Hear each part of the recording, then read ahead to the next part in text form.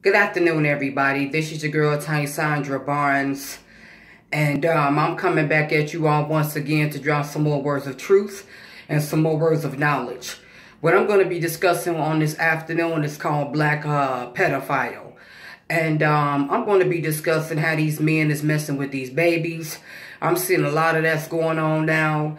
I just don't understand what's up with these grown men messing with these little babies and these little girls. You know, even the little boys now.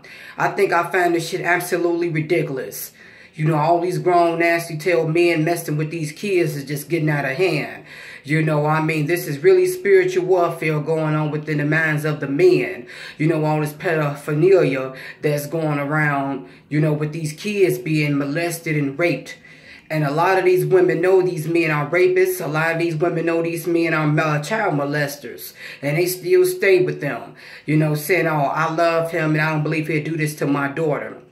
It's been uh, estimated reports of this going on. You know, it was a report where a man married his own daughter when she was 17 years old. And um, when he got out of prison, he married her and got her pregnant. Then I was looking at another case where a mother, you know, um, performed sexual acts on her five-year-old daughter. You know, um, another incident where the pastor, well, minister, whoever he's supposed to be, uh, create, um, creating creating nude acts on a child.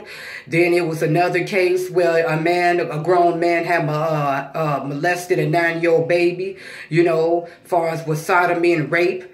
And then there was another case how a football player, you know, had uh, sexual intercourse with a 12-year-old uh, uh, child within the home of his wife.